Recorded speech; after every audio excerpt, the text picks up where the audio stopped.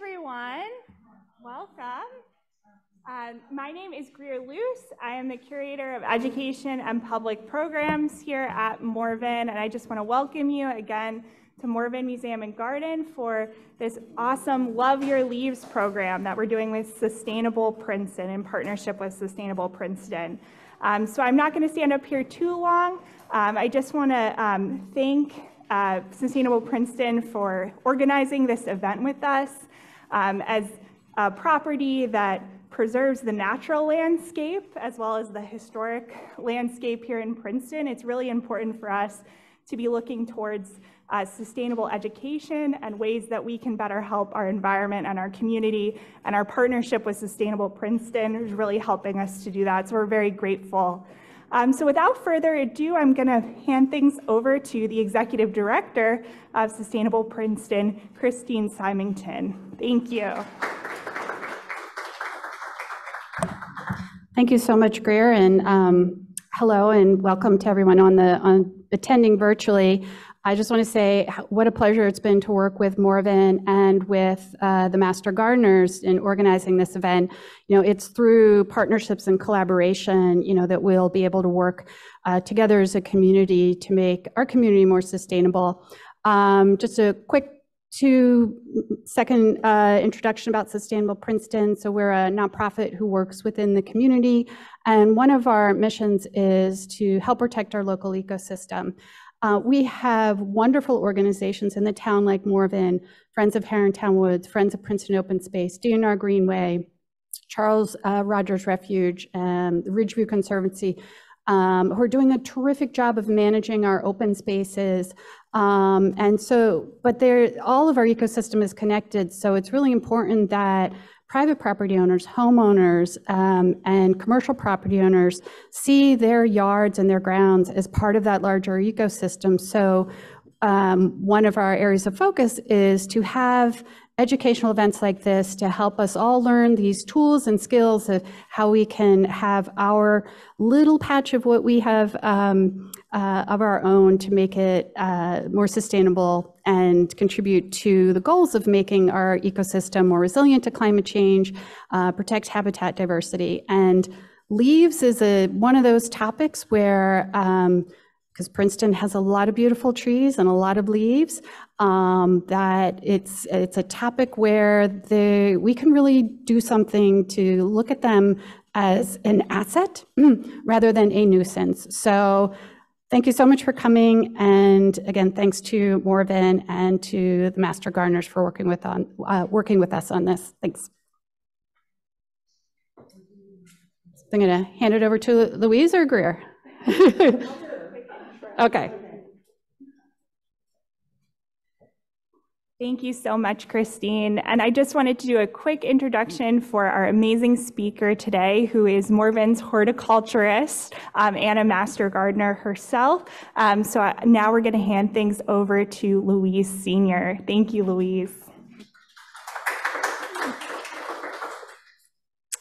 Hello, everybody. Are we? Oh, thank you, Joe big, give a big hand to Joe Murphy, our tech guru here.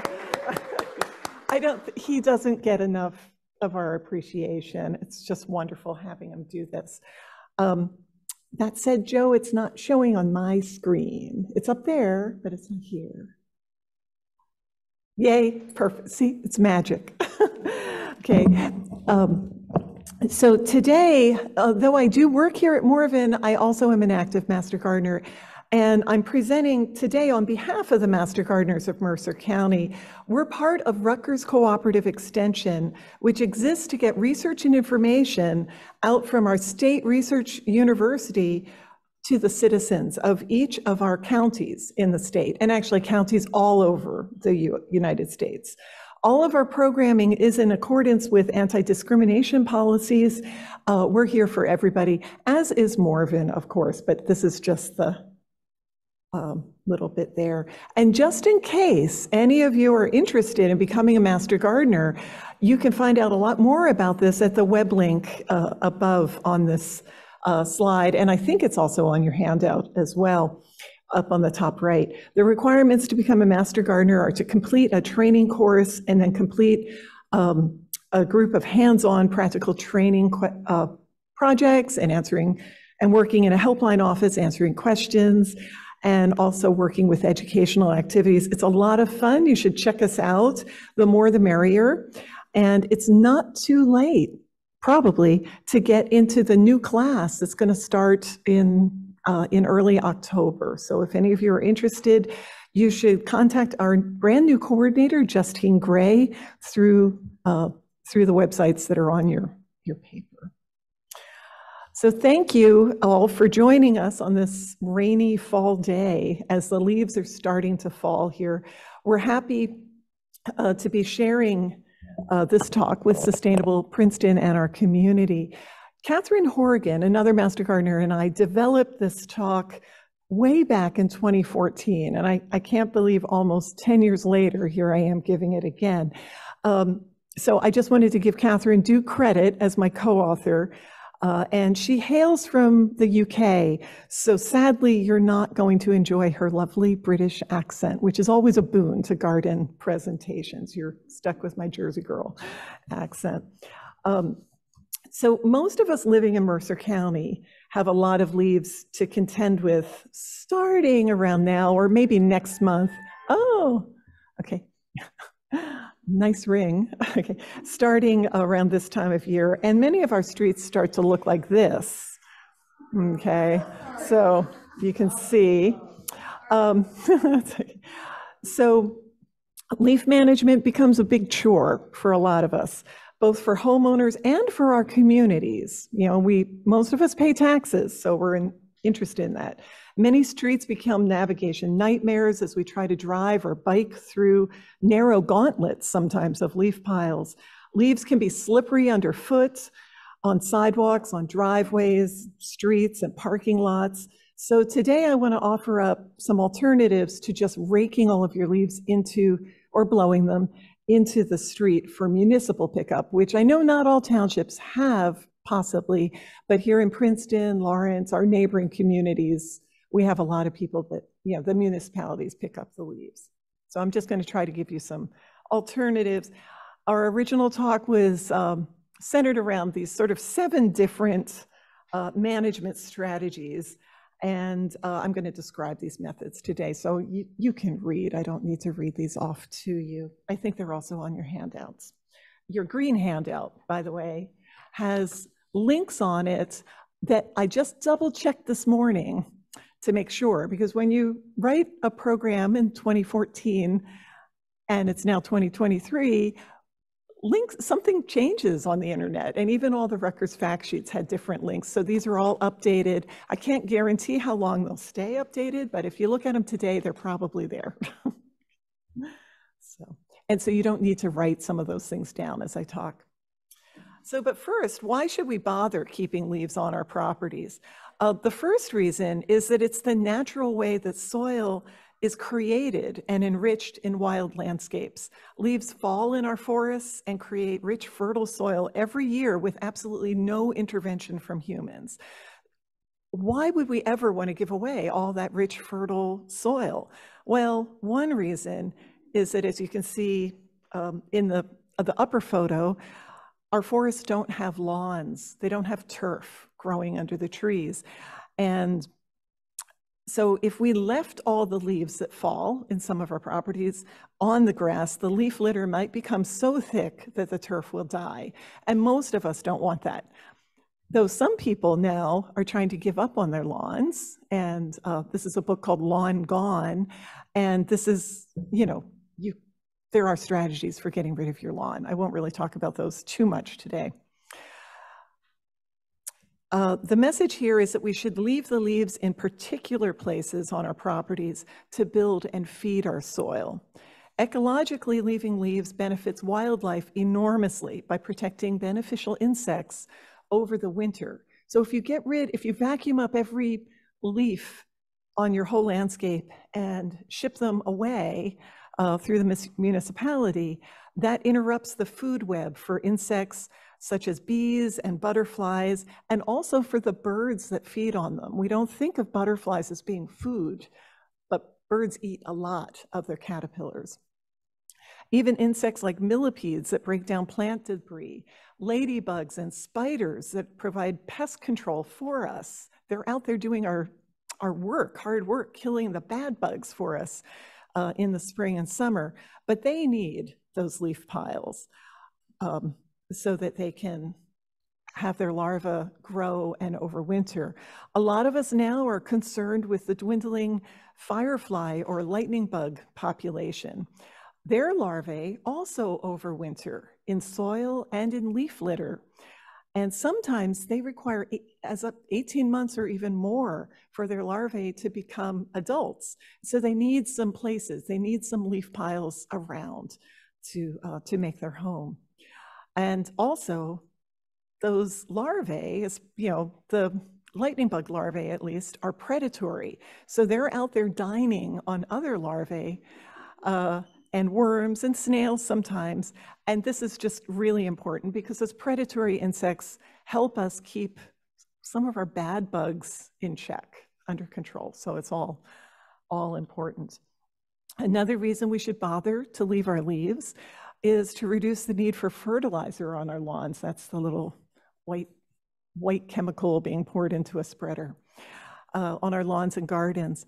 Uh, back in 2011, New Jersey passed legislation making the use of fertilizers containing nitrogen and or controlling the use of nitrogen and phosphorus on home landscapes.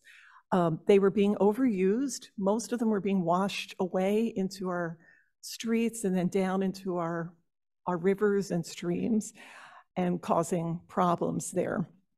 Um, and so now it's actually illegal in New Jersey to fertilize your lawns between November 15th and April 1st with those chemical fertilizers. By managing your leaves at home and in uh, mowing your leaves into your lawns, you can help reduce the need for those fertilizers and you can save money too. You don't have to buy that stuff. Keeping your leaves closer to where they fall reduces energy expenditure. And this is near and dear, of course, to sustainable Princeton's heart. And again, it saves you money, saves all of us money in taxes. Um, and it keeps them out of landfills, which again, New Jersey passed a law way back in 1990 banning the disposal of leaves and yard trimmings into landfills. This was incentive for many municipalities to start composting facilities for leaves and brush. Princeton and Lawrenceville share a site at the Mayer Ecological uh, Center out on Princeton Pike. I'm pointing over there because that's the direction of it. And it's a terrific example of municipalities in cooperation for sustainable uses, but they, they do drive around and pick it up and take it over there, and then they come back and, and deliver it sometimes. But raking the massive piles of leaves into our streets and towns to collect has caused problems with stormwater drains. We're getting more and more of our rainfall in the fall um, with climate shifts, and the leaves can really clog up our drains. In Princeton, this has really exacerbated some of our fall flooding in recent years. Some towns have tried to regulate this by um, requiring the use of leaf bags, which you see here. They don't you know, they usually don't make it into a leaf drain to, or a storm drain to clog it. Other towns sometimes use straw bales as blocks to keep leaves out of the storm drains.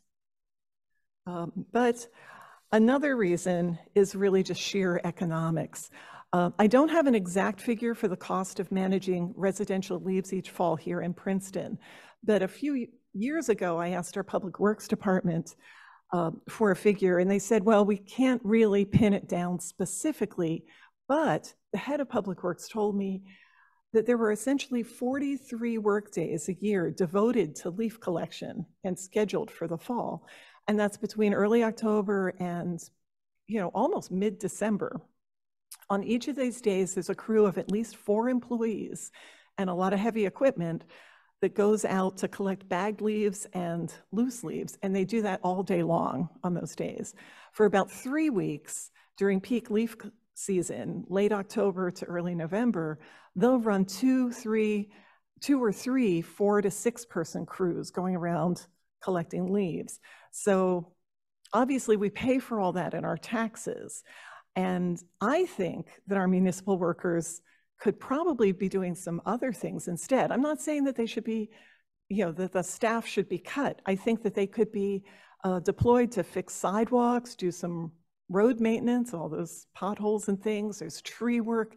There's lots of other work that they could be doing, and we could maybe, maybe even get our taxes a little bit lower. So um, way back, again, when one of the inspirations for this talk initially was an article in the New York Times, and the link is on, on this uh, handout, I think on the back. Um, back in 2013 in uh, Westchester, New York, uh, a town published that they spent $3.5 million a year. That's almost 10, that is 10 years ago. So 10 years ago dollars, $3.5 million a year with private contractors who went around and hauled away leaves in tractor trailers and they took them off to commercial composting sites in places like Orange County, New York, and Connecticut. And people, you know, lobbied and they realized that this was a crazy waste of money and they launched a love love 'em and leave leave 'em campaign, much like Sustainable Princeton has been um, pursuing here in Princeton uh, to try to cut costs and improve local ecology. And they really have saved millions of dollars in the last decade. So, there we go. Okay, so before I go on, there are sometimes some leaves that we might not want uh, to keep on our properties. Some people are, actually most of us, are, are uh, sensitive to poison ivy, poison oak, sumac, so you would prefer not to compost them and collect them um, and not to handle them too much in your yard. Also, black walnut leaves contain a, an element called juglone, and this inhibits plant growth. Most of the juglone is actually in their roots and in the nut hulls, um, but the leaves do contain some. So if you know that you have mainly black walnut tree leaves in your leaf pile, you probably don't want to use those on your beloved uh, perennial bed and things like that because they will um, inhibit growth of plants. In municipal compost or most home compost, the percentage of them is very small and they get diluted down. Uh, so you don't have to worry about those. Um, some generally you'd prefer to dispose of diseased plant material too, rather than put it in your compost pile. Things like uh, if you are a, a, vegetable gardener, you and if your tomatoes look like they got a blight of some kind, you probably don't want to put those vines and things into your compost. Uh, cucumbers and um, summer and winter squash sometimes get squash bugs, and you might not want to put those eggs into your compost either. Um, and then sometimes there's mildews or diseases on plants. Even though we're not supposed to put the bulk of our leaves into our municipal trash, it's okay to bundle up things like poison ivy or a few select items and throw them out. And that's what I would advise to most of you. Um, also, if you if you know that something has just recently been treated with an herbicide or pesticide, you might want to avoid using those in your mulch. But most, but spraying on fruit trees usually happens months before any of the leaves fall. Um, you know, it's usually more of a spring re regimen, and those um, those have generally broken down sufficiently so you don't have to worry about putting them into your compost if you use those kinds of things. Higher lignin containing leaves, that's sort of really tough leaves like uh, beech, birch, hornbeam, some oaks, uh, chestnut, uh, magnolia leaves, holly leaves. Um, these take more time to break down. They're pretty big. And I would advise that they're really better, truly better shredded. But that could come at the cost of losing some of your insect life. But if they've just fallen, you can shred them because they probably haven't been, uh, probably aren't occupied yet. So now I'm going to get into my numbers of things. That was all my caveats. Um, Here's my first suggestion for managing your leaves on your property, and I think it's one of the easiest ones too, especially when you have somebody else, like your son, mowing your lawns. Most lawn mowers are now equipped with mulching capability, and I believe the electric lawn mowers that Sustainable Princeton is promoting would have that capacity as well. And I hope that everybody is using this already and mowing your lawns tall, you know, leaving at least three inches of growth. The grass clippings are a fine way to feed your lawn, uh, reducing your need for the expensive and sometimes banned in some seasons fertilizer. Mulch mowing is absolutely not correlated with thatching of lawns, you know, when they get very thick and have problems growing. Um, and this is something that you can learn a lot more from Rutgers uh, fact sheets and Master Gardeners. It's something that's taught in our lawn care courses, that the thatching is not caused by mulching, mulching the grass clippings in. Um, the most effective way to mulch your leaves with your lawnmower is to mow them when they're dry and hopefully dried up a little bit too. So they've fallen and they've gotten a little crispy on your lawn. Um, you can see my son here is mowing leaves into our lawn. And it's easiest to do when the leaves are not super thick, uh, at least with a little home mower. Some mowers might be much more heavy duty and you might be able to go grind through bigger ones. Um, you can do multiple passes over uh, to keep the leaves uh, uh, out, uh, keep the leaves broken down. Uh, you can see, one test is you can look down and see green grass. And this is a caveat also. If you're mulching your leaves with your lawnmower, when you look down after you've taken a pass and you look down at your foot and you can see plenty of green grass and some leaf particles, that's good.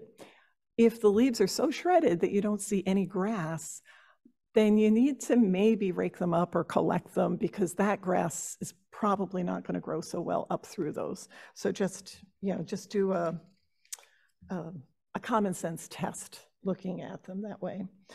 There are heavy duty mowers and we've been experimenting uh, the last two years, grinding some of our leaves here at Morven uh, to use, I like to use them as mulch on our vegetable beds.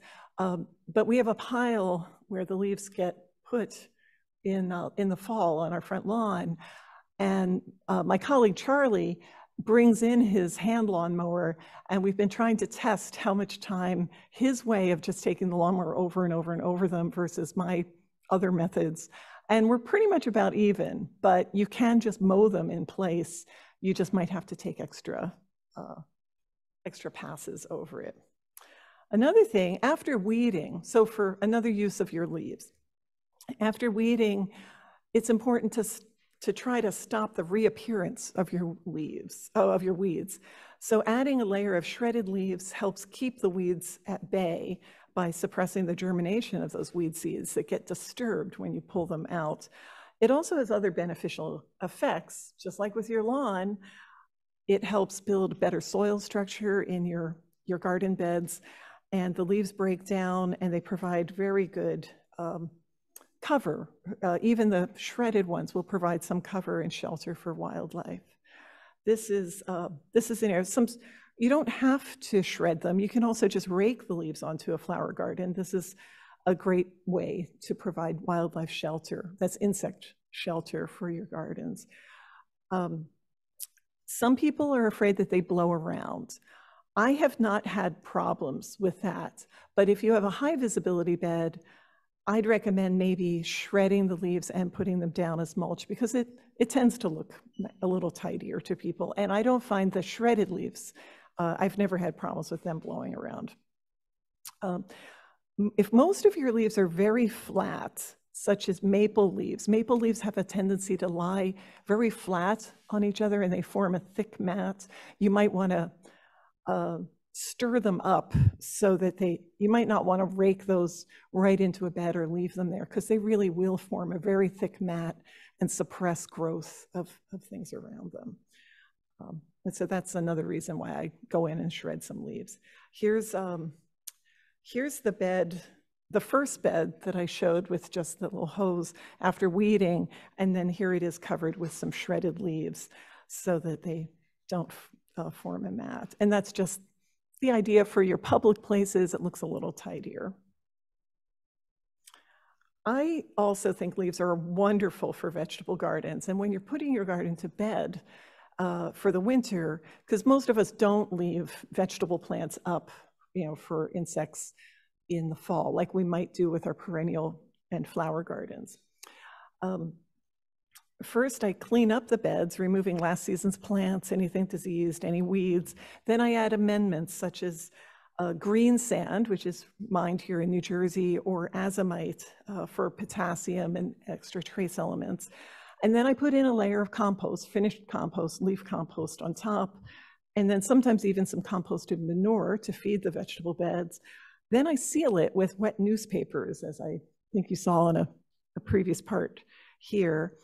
Uh, just the newsprint sections and about four pages thick. Believe it or not, there's a master's degree that was written about using newspaper as mulching and they determined the thickness was best and you can find that online somewhere. I don't have the link. Um, but then over the newsprint, that's then I put the leaves on top of that and it really helps hold in, uh, you know, suppress uh, any weeds over the winter and it keeps the soil moist. It keeps the microorganisms alive in your vegetable soil so your soil stays alive.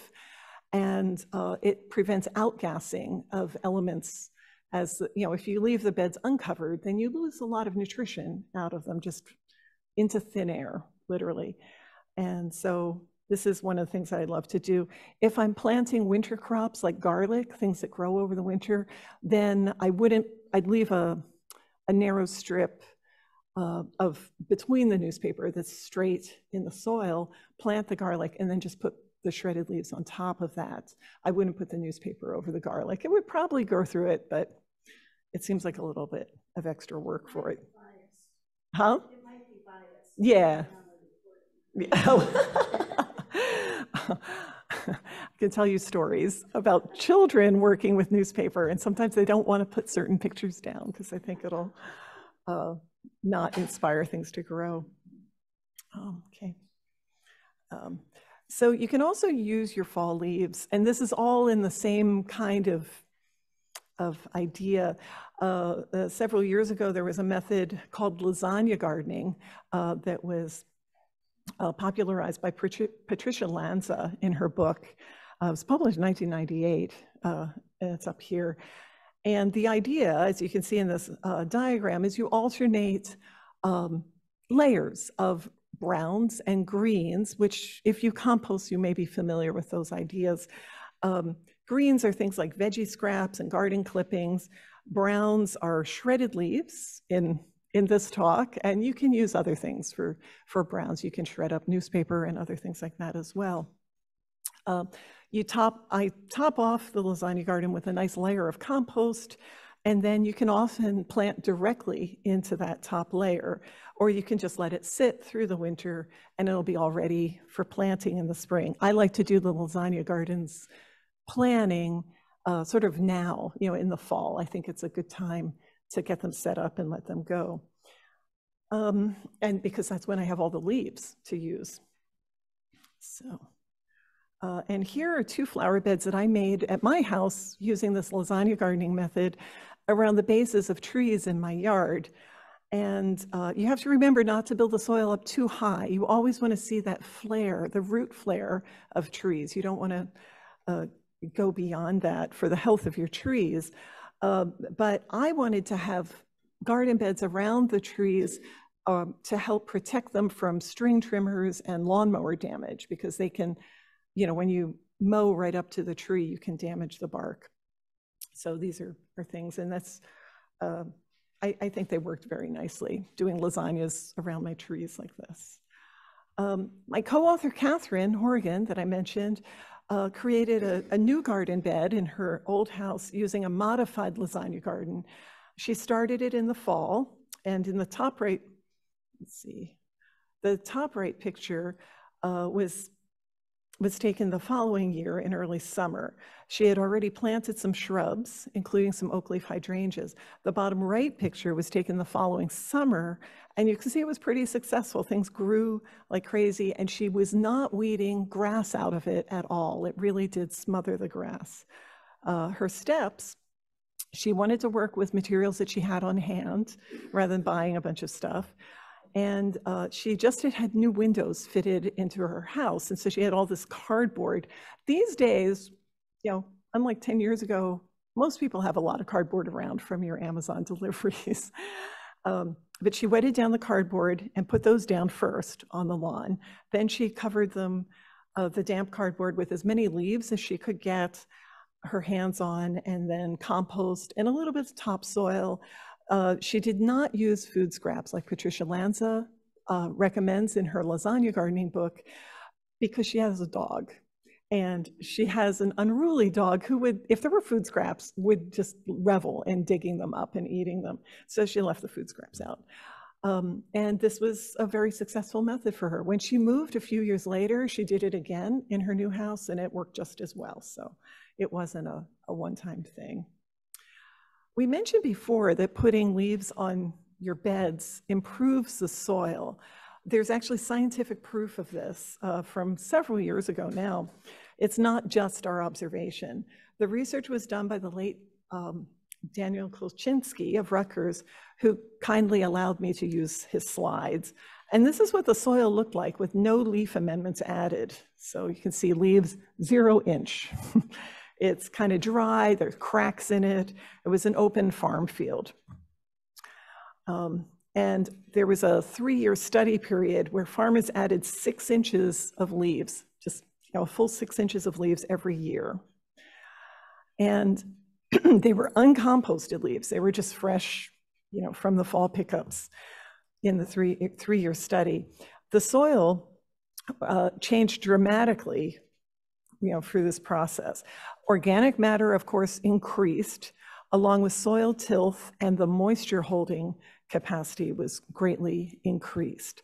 Soil tilth, by the, uh, by the way, is the state of aggregation, I'm reading a definition here, the state of aggregation of a soil, especially in relation to its suitability for crop growth. It's kind of a combination of how dense the particles are and how much water it holds. It's a, a an old, old-fashioned term, tilth.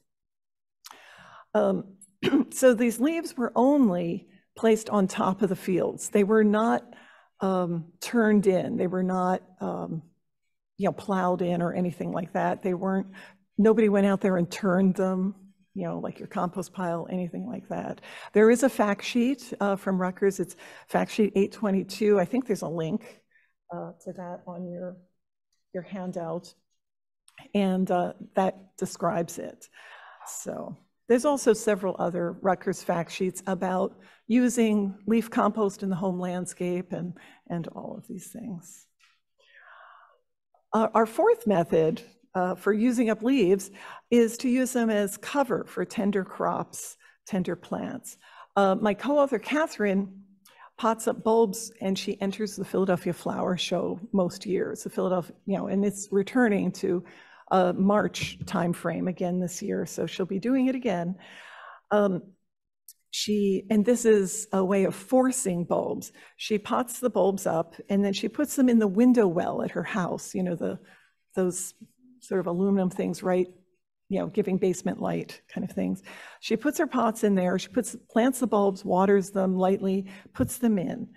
And she then buries, she rakes her leaves or moves them into those, fills them up, buries them in the leaves.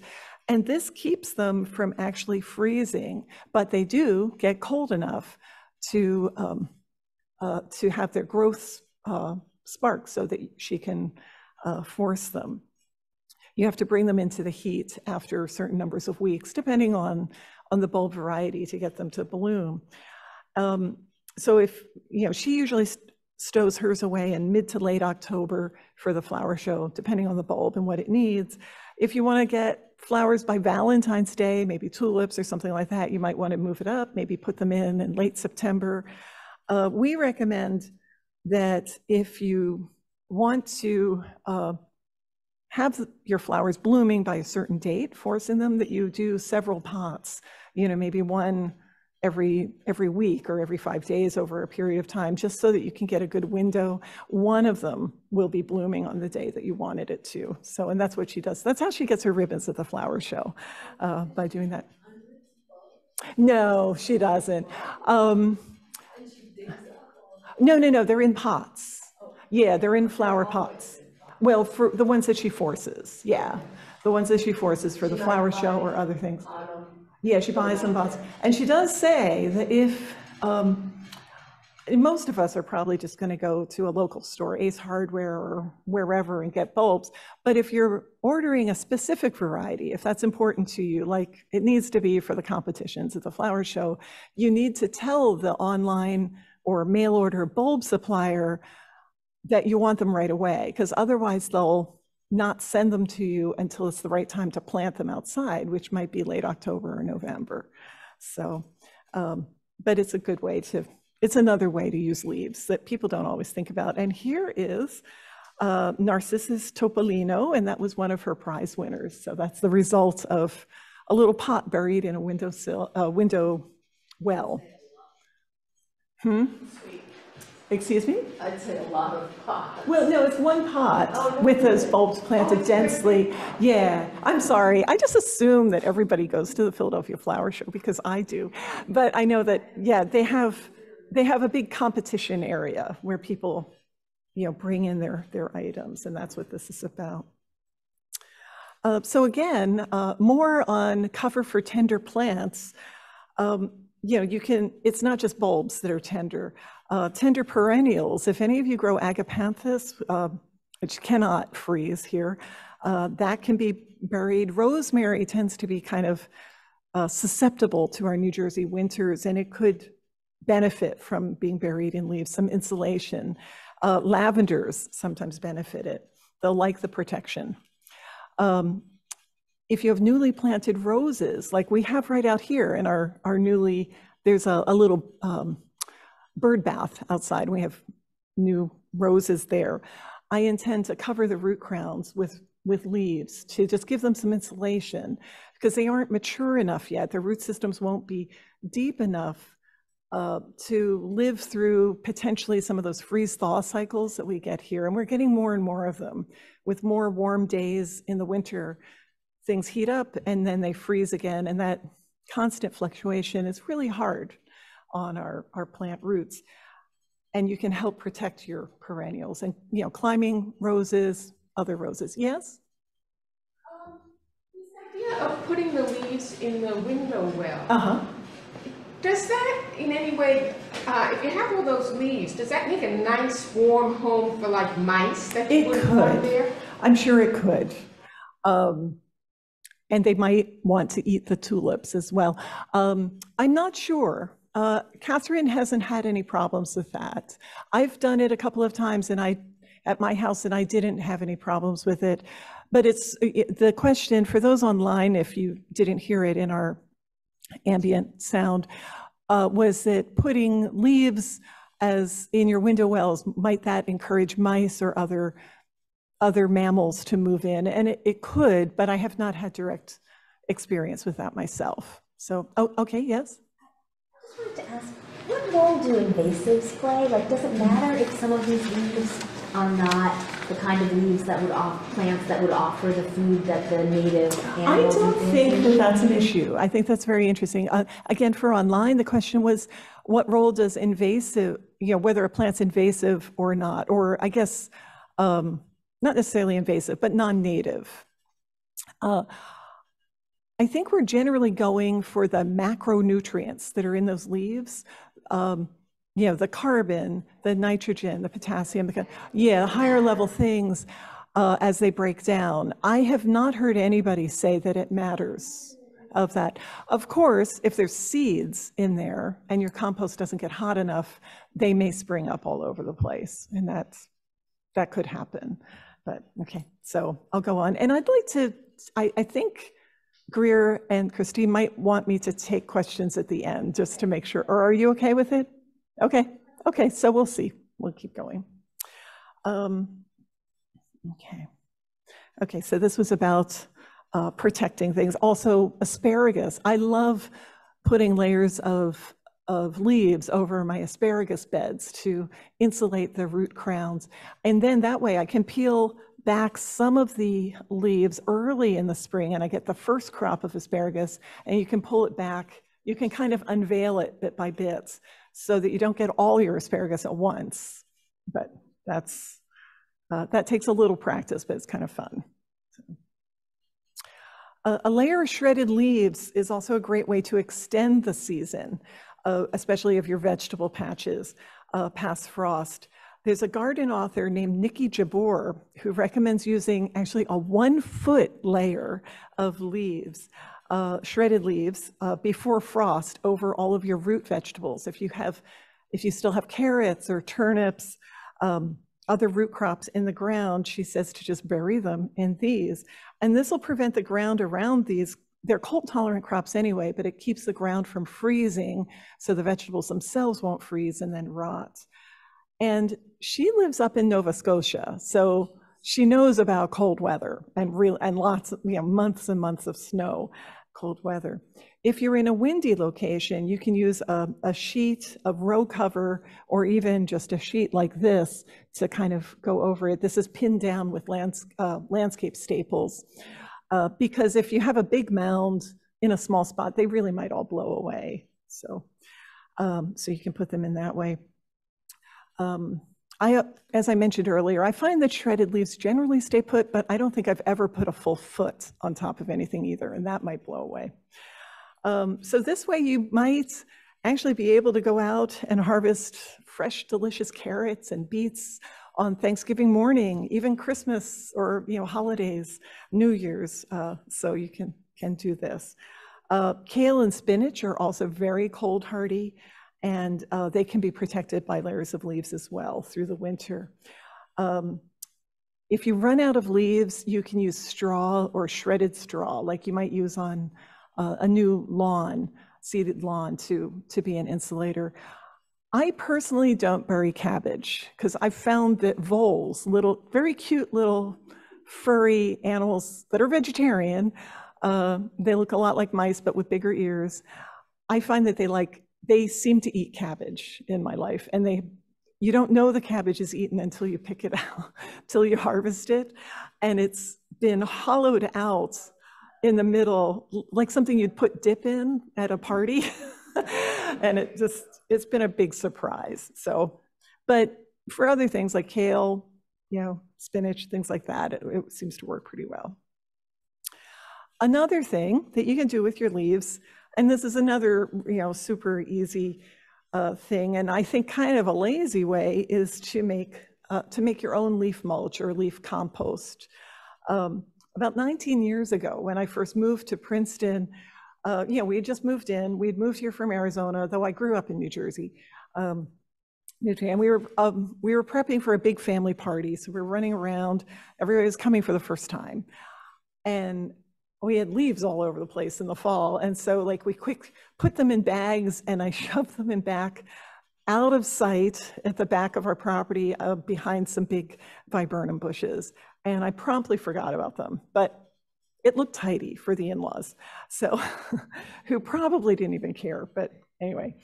Um, in the spring, several months later, I found the bags and I was amazed. They had not been closed tightly because I was in a big rush. And the leaves had composted down on their own. You know, there was plenty of leaf mold on there that got it going. They need, they can't be closed. They need to have moisture. They need to have water for this to work. But I actually had these nice bags. You know, there were some big lumps in there too, but it was really pretty great uh, leaf compost after about six months without doing anything. Um, a friend of mine, uh, I had used black trash bags. A friend of mine says that she always uses clear bags, believes that that works better, but it's something to try. Um, you might want to even poke holes in the bags just to make sure that they get uh, get the moisture. Uh, so that's another thing. Uh, let's okay.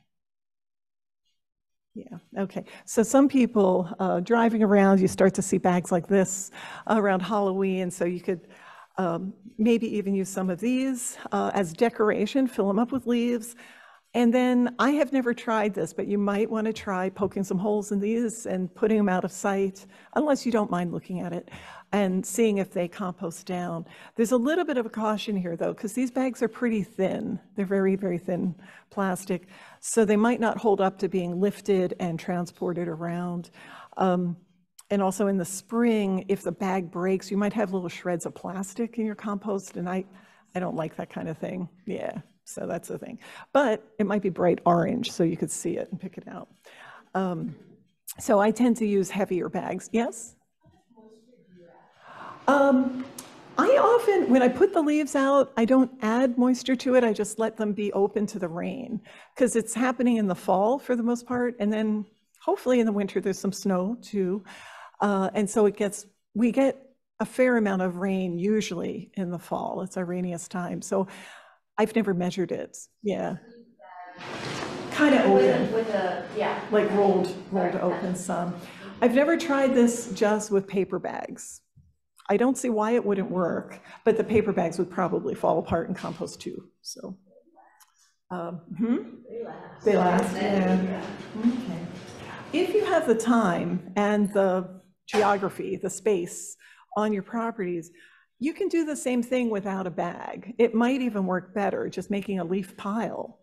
Uh, And if you don't mind you know, mind having it there, you can just use, use the leaves and just let them stay there and, and see what happens. Most people say that they do compost down within, you know, by the next year. Yeah. And it's just that if you only live on, you know, a tenth of an acre, you might not have that space. But if you have a bigger property, you might have somewhere where you can just rake everything and let it sit and let it stay. And it's, it's very easy. It's kind of the lazy way to do it, but it's pretty great you can then just go out in the spring and, and, um, you know, put it into a bucket or a wheelbarrow and add it to your, your flower beds, different places. Or if you don't even want to use it, you can just then start putting more leaves on top of it. I personally would not mix in brush and other things because the wood is going to be uh, hard, it'll take a lot longer to break down. So anyway, I, I like the, you know, move it and let it sit kind of mode often. Another thing, until now, I've only mentioned basically broadleaf leaves. Uh, but a lot of us, you know, don't forget about the evergreens out there. Our white pines, um, in particular, drop their needles. You know, they'll start dropping them probably pretty soon if they haven't already. And you can use them either directly in your compost or you can use them straight. Sometimes online you'll read that, oh, they're you know, their, uh, their pH isn't, is harmful, but I would not worry about that. It, your compost will, will self-regulate it. The, the pH won't be a problem. And there are acid-loving plants. If you grow blueberries or ostrich ferns, think about uh, the pine bar- plants in the pine barrens or up in the Delaware Water Gap. That's where the needles fall naturally. And those plants thrive. I, in my life, they've thrived by having, being mulched with pine needles. I also really like um, to make a path. I have a very muddy path, shady, it never sees sun, uh, along the side of my house. And I go around and I collect pine needles from the street in front of neighbors because I don't have a white pine tree myself. It's a little kooky, I don't do it under the cover of darkness. Nobody minds if I take their pine needles. Sometimes I go over to my congregation because they just fall onto the parking lot and they're really easy to, to rake up on a, a dry day. And I put them in. Uh, and I find that it has made a very nice path here, and I, I can dream that it's a little woodland path uh, covered with, with pine needles that don't actually fall off of the tree, making it shady next to them. Um, there are places around the country that consistently use pine needles as mulch, especially in the southern United States, where they call it pine straw, and people buy pine straw. So this is one of the elements where it's really not seen as a, a problem with the pH. Some people think they blow around. The area where I put them doesn't get much wind, it's protected, so I don't have a problem with them blowing around either, so we go galloping on. Uh, of course, if you're composting, and I think we're getting closer and closer, there's some states like Vermont that require people to compost at home to keep all your food waste, manage it yourself. Um, if you're composting, leaves are a fabulous resource to help your food break down. And uh, this is one of the favorite things that I do with our fall leaves as well. Uh, so I just have to keep them in the, you know, because by the time I'm going through food and, and waste in spring and summer, I've run out of leaves unless I've saved them. And uh, to, well, yeah, so So you need to plan to have the leaves for your compost. They take up a lot less space if you shred them because, you know, you can see here there's four bins of leaves. When I shredded them, they came out, all four of those bins equal this bin, one bin. You know, so it's a much uh, more compact way to store the leaves for your use. So how do you shred them? Well, there's a couple of different ways. You could win the shredder that's being given away today, uh, which is a wonderful thing. And here's uh, uh, my friend Catherine Horg, co-author Catherine Horgan's husband, using uh, a mount, a different variety, but it's a one that fits uh, that you can set right onto a barrel and dump leaves into it. Um, I have often used um, our leaf blower. It has a a switch where I can make it into like a vacuum. You can uh, make it run backwards and then it'll collect the leaves and shred them and store them into a bag. And then I can just put them onto garden. It's a very neat and tidy way to then put the shredded leaves onto a garden bed or something like that. If you do that, I'd recommend, it's really loud, so you might want to have ear protection, um, something like that. Another thing that I do, which is might be a little extreme, but again, I like to use the tools that I already have. And I have a leaf, um, you know, a, a, trimmer. My British friend calls it a strimmer. Uh, yeah. and uh, I use it, uh, like you can see here, it's like a giant immersion blender. You know, I put the dry leaves in and you just go up and down. And it doesn't take very much time at all. It just shreds them all down to, to tiny little bits. So you just have, again, you should wear eye protection because bits will fly out at you. And you should probably protect your ears as well. Uh, but if you're only doing it for five minutes, maybe it's not too much. Um, but this is, uh, this is my strimming of leaves. That's one bucket on the left, me working the string trim or the string trimmer up and down. And then that's how they, they all broke down to just that. So it worked well. I believe, but I don't, I have not seen any scientific studies of this. Maybe I just hope that if you gather your leaves quickly in the fall and then do this, that maybe you don't have as much insect larva danger of destruction on them. I'm hoping that then when I put, you know, that, and these are leaves that I want to use in my composting anyway, so there's that. But I do believe that if you put your freshly um, shredded leaves on your gardens, that some of those insects will still find places uh, for them to lay their larvae and, and uh, keep the life cycle going.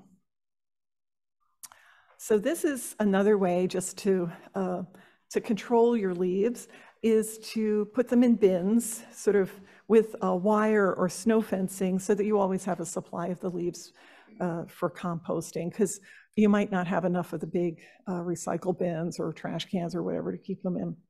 And I believe some of you might be signed up to make one of these leaf corrals today with Sustainable Princeton. So uh, I think theirs will be round. These particular ones are square, so you can just see the, the different ways. And then this way you have leaves whenever you need them for your compost, and there's a, a little compost bin right next door. I like to have them nearby. So I dump in the kitchen scraps or food, and then I take a handful or two of leaves and bury them. So. Yeah, um, it's true. We we advise, as master gardeners in Mercer County, we advise not to use meats. And some people even say no cooked food. But I think if it's a straight vegetable and it's cooked, I go ahead and put it in mine. Um, there is the fear that meat might attract vermin, particularly rats and raccoons, things like that. Um, yeah, so we try not to, to use those in. Yes, yeah, you try, generally try not to, unless you have a system that's well closed uh, or, you know, otherwise authorized to, to do that, but it's, it's rough. And I'm not sure what they're advising to people in Vermont, you know, if they're allowed to throw bones into the trash or not. Um, but anyway, here's some finished compost. It's a dark, beautiful, crumbly garden gold. It's a wonderful thing. So here's my last little thing, and there's some crafts out there for children. Um, autumn leaves are beautiful. I mean, we tend to get overwhelmed with the task of dealing with them, but they are so pretty and you can make lots of things out of them. Most of us would be challenged to actually use all of them in craft projects that fall, but you can do lots of things. You can make garlands, you can make all kinds of things. Um, and my family every year makes scarecrows, or at least we used to. And this is, um, yeah, when our kids were younger, we used their old, we, well, I kept some of their clothes, old clothes. We put a pumpkin out front before Halloween and stuff the clothes with leaves. And there's a, there's a stake going up the back to make them stand upright because I haven't gotten them to stand up. And, know, so we do that. My son did not, this was 10 years ago, he did not want his picture taken doing this. He's not glum. Um, yeah, but these are one little glitch I've found over the last uh, couple of years is that our leaves are not falling as reliably before Halloween anymore. I've, the last couple of years, I, I literally haven't had enough leaves in my lawn to make the scarecrows. So, oh, really? That's good. But this is something. And so here's a review. Thank you very much for attending. Um, These are the seven different ways, and they're listed on your, on the handout. And I do hope that you can enrich and make your home more beautiful and healthier environment. As uh, one of my heroes, Doug Tallamy, says, you know, we want to make every yard part of the homegrown national park. And so if you practice sustainable processes at home, you can uh, keep everything uh, healthier in our environment. And then um, these are some of the links. I think all of these are on the handout, uh, but these are just a couple of them as well. Sometimes our lawn workers only speak Spanish, and so there is a link in there where you can find some Spanish directions if you don't speak Spanish. And then just another uh, call out to Helpline, uh, the Master Gardener Helpline. Here's the contact hours. You can contact us in different ways. You can come in in person. It's down in, in Ewing Township um, during the working hours. You can call and leave a message anytime, and Master Gardener will get back to you not necessarily the same day, but within a week at least. Um, or you can email, you can ask the MGs and get an email response. And that's a great way because you can send a, a, photograph of your problem now to our helpline. Or you can come visit the tent, sometimes at street fairs. I know they were here at uh, Princeton Porch Fest in front of the library. So there's places around. So thank you again very much.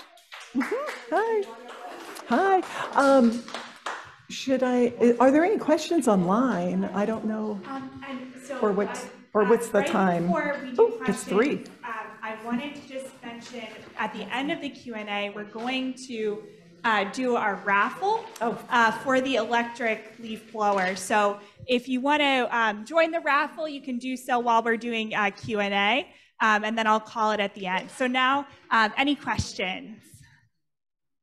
Yes, I, I have a lot of prunings from my lavender. I, I wait to prune, I mean, I've been pretty successful with it. Um, And so I wait until it's brown and the bees stop going for it, and then I get it. Okay, so just the wands. But, yeah, but sometimes. The leaves too. okay.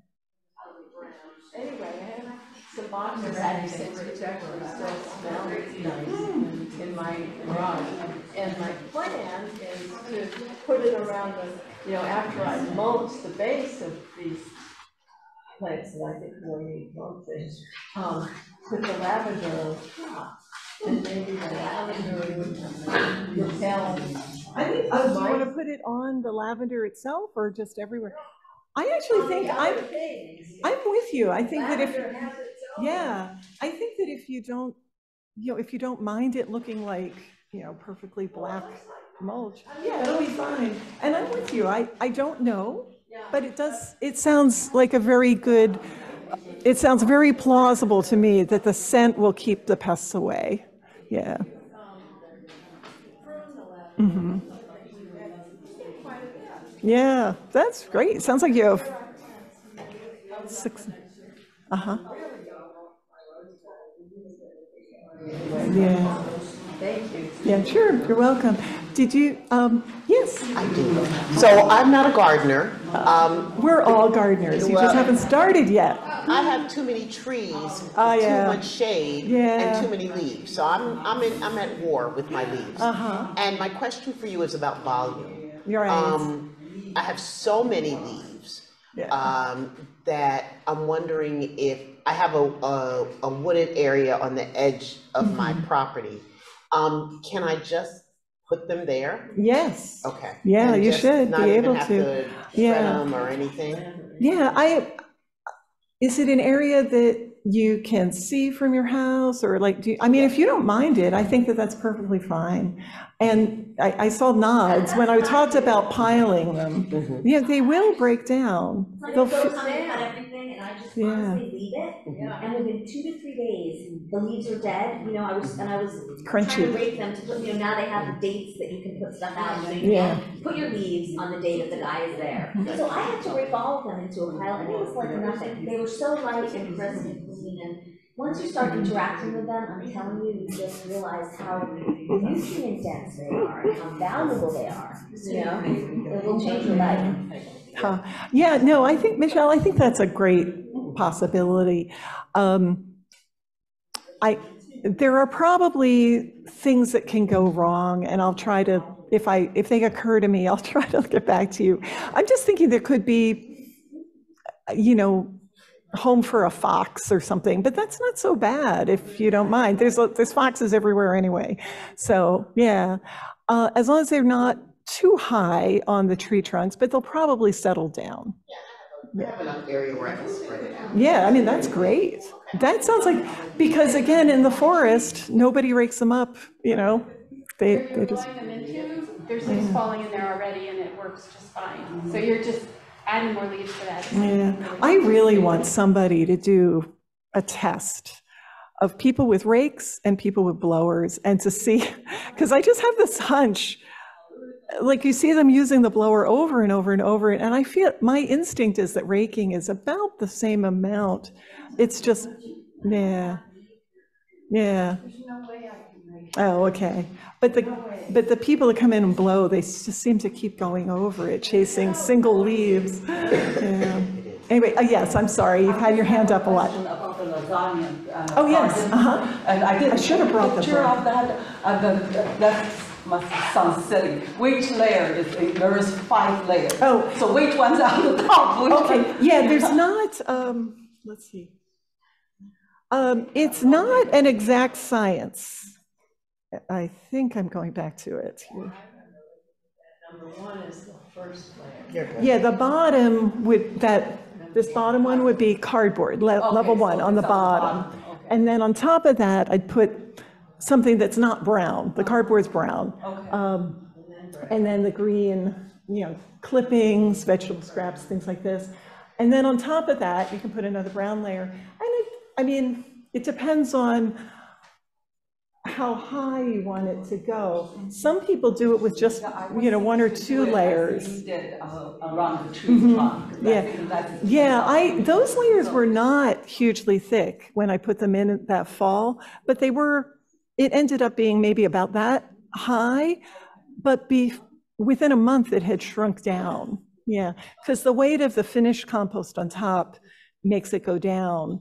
And I just put, I just planted bulbs right into it. Actually, I put flower bulbs, like daffodils and stuff, right around on the top, and then I put the compost over it, so I didn't even have to dig to plant the bulbs. It was really, it was really lazy, yeah. And it was good. Okay, thanks. But make sure you leave the flare on your tree if you can. Yeah, Janet? Okay, so I have these um, bird feeders. I have lots of shells on the ground. Ah, So, ah. okay, get rid of them or? It depends. I don't know about all bird food, I like, like by far. I don't know about all bird food, but I do know that sunflower seed hulls have certain components in them that inhibit growth. It's kind of like having a black walnut tree. And so if your bird feeder, if your bird seed has a lot of the sunflower seed hulls, you might want to be careful what it's over. Um, a long time ago on Helpline at Master Gardeners, a call came in, somebody had planted this prized family heirloom, um, I think it was a hydrangea, uh, that had been in their great grandmother's house and somebody had moved it, somebody moved it, and they now had it. And it was ailing, it was really dying. And it turned out that it, there was a bird feeder over it and it was the sunflower seeds that were affecting it. They moved the shrub and it recovered just fine. As far as I know, sunflower seed hulls are the only ones that would do that. Uh, yeah, sometimes, uh, especially if you have squirrels around, they're not tidy. So some of the seeds may fall down and sometimes they sprout too. So, but I don't think that they hurt uh, for the most part. Uh, and if it's between plants, you can just, if you don't like how it looks, you can just put a little compost over it or shredded leaves, know. okay. Anybody else? So we have um, a- quite a few questions online, which we probably won't be able to get to Oh. today. Oh, but. I'll address a couple, but I did want to mention for those online, um, Louise and I can chat and send you the, uh, the answers to your questions. We will also send a PDF copy of the resource guide um, via email, as well as a recording of today's program. Uh-oh. So, It's always my horror. um, Uh, Sorry, I'm just juggling my Yeah. laptop here. So um, one question, um, how do deciduous trees affect the garden? Oh, well, um, there's shade, of course. Um, And their leaves are a wonderful resource for us. That's what we've been talking about. Uh, They're called deciduous trees because their leaves fall off. And then that's what we're talking about. It's wonderful to use those leaves and keep them on your landscape uh, to contribute nutrients to your soil. And our gardens, we think gardens are all about what we see, you know, the beautiful flowers and the butterflies that land on them. It's actually all about the soil. It's what, your gardens are what you feed the soil, and that's where you get things growing out of them. If that, that's a vague statement, but that's, That's great. Uh, and one final question, because I think it's a, it's a good one. Um, how do we how do we um, uh, navigate discussions with landscapers Oh, about um, our leaves uh, who claim that this will put them out of business? okay. I would, Christine uh, from Sustainable Princeton has her hand raised. You want to come up here, or? Sure. uh, so you can be seen by those at home. I love that you're taking this because I'm not really sure. You know, there are Spanish instructions you can get, but yeah, go for it. Yeah, I, I- I want to say, what's really important is when we think about the landscaping uh, community, they're very hard workers. And um, what we've come to understand is there are probably over 100 different landscaping companies that do business in our area.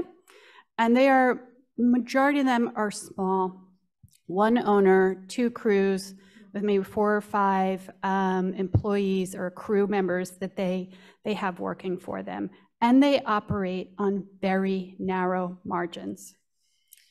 And the sort of the paradigm of their practice is what's called a mow, blow, and go crew. And that is been driven by the consumer's paradigm of a manicured lawn. So if we want to change about, change the landscaping business, we have to understand that homeowners and property owners are co-responsible for this change.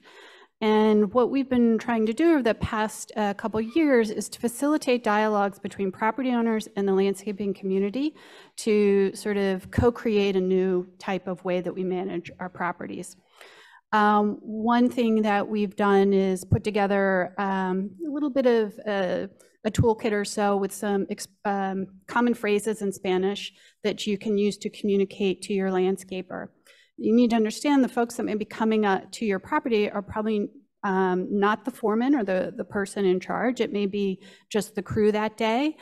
Um, so you may want to talk directly to the landscaper that you hire. They probably do speak English, um, so you can have a, a dialogue with them. Another thing that we've done at Sustainable Princeton is we've um, been, uh, you know, reaching out to the landscaping community and uh, encouraging them to adopt these practices. And we have a sustainable landscaper list on our website. So we've sent out a questionnaire to all the landscapers that we know of that are doing business, because um, uh, through just going out and seeing what trucks are around town, finding who's registered with the municipality. Side note, if you hire a landscaper in the municipality of Princeton, please make sure they are registered. It is required that they register with the municipality. And this was put in place as a means to try to reduce wage theft. This is something we heard from the landscaping community that they wanted, and they want the town to enforcement because there are many good businesses um, out there trying to do the right thing. And um, they also asked that the town require proof of workers' compensation insurance. Um, so we can do our part if you hire a landscaper to make sure they're registered. Um, and uh, you can look on our website to see a list of landscapers that will mulch your leaves, leave your leaves, that uh, will offer these type of services. Um, so I just really want to get the point across. We need to respect the landscaping community, not see, not demonize them because of the practices they may have or the equipment that they use, and see uh, ourselves as prop, if we're a property owner and we're hiring landscapers, our neighbors are hiring the landscapers, that they are part of the solution. Thanks. Thank you so much, Christine. Um, a tiny bit more about dealing with your la- landscapers. Um, I have found that sometimes some landscapers are resistant to mulch mowing, uh, to leaving the uh, grass clippings in the lawn, to mulch mowing. And again, you just need to try to understand it from their perspective. If more and more and more of us ask for that, then they'll make it. But sometimes they have to adjust their equipment from household to household or managed property to managed property. And, and that can be confusing. Also, they tend to mow, you know, unless it's pouring rain, if your lawn's a little bit wet, they're probably going to come mow it anyway because they have a tight schedule if they're successful because of that low profit margin. They've got to get it done. And if they're mulching when it's a little bit wet, sometimes there's lumps left, and some people will complain about that. Others of us love it because it's proof that they're, you know, mulching the grass clippings in. So that's that's my little warning. But I think it's really important for homeowner to contact your homeowners associations and your, um, you know, I don't know what the others, the management, property management companies. Uh, we can do things as homeowners, but it'd be great if these other places could work on this too. Okay, so that's it. Thank you so much, Louise. Now, I know the sun is out, and now I'm going to do the drawing for the, the leaf blower. so here it is.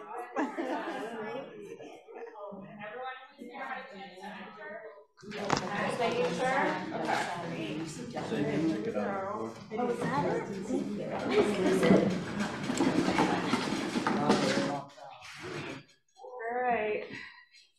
We have a Michelle. Oh, woohoo! Yes. All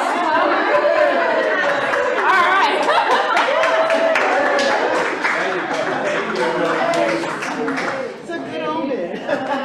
So now you're going to just rake them into the woods so you can give it to me.